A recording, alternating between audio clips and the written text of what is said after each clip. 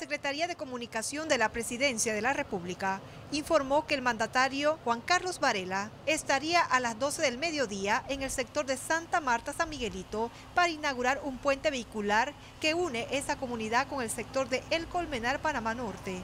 Residentes de esa área realizaron protestas para exigir veredas, mejores vías y otras obras. Desde las 7 de la mañana estaban a la espera del presidente y del ministro del MOB, Ramón Arosemena. Ministro de Obras renuncie del MOB ¿Por qué no ha venido a terminarse la calle de acá de Panamá Norte?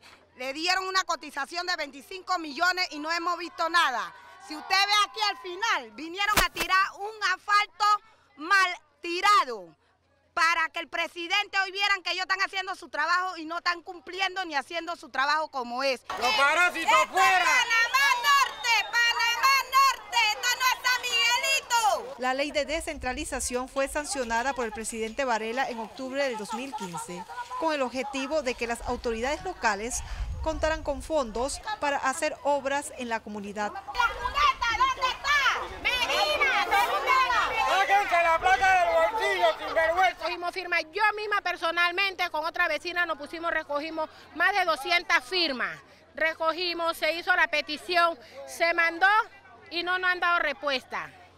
Entonces estamos, por eso es que estamos hablando, queremos la señalización y los resaltos de la calle. Los moradores de El Colmenar aducen que el 70% de las personas y vehículos que utilizarán el puente residen en ese sector y no en San Miguelito. Las calles terminadas de acá del Colmenar, Panamá Norte. Esto es Panamá Norte, no San Miguelito. Tuvo que haber un accidente, gracias a Dios, yo guardo a esa, esa señora, amén, con su hija. La señora cayó, pero la, señora no es helada allá, sino helada acá. La obra tuvo un costo de más de un millón de dólares. Según los manifestantes, el proyecto se construyó tras la caída de una madre y su hija en el anterior puente en septiembre de 2016. Ambas sobrevivieron de milagro.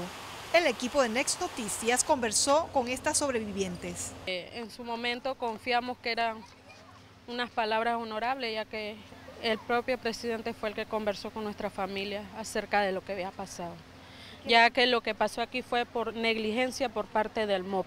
La afectada Angélica Barrios, quien reside en la comunidad de El Colmenar, Panamá Norte, señaló que el presidente Juan Carlos Varela no cumplió ninguna de sus promesas. Dan todo eso y no me gusta que ellas sigan sufriendo, porque ni siquiera la ayuda psicológica se les ha dado a mis hijas.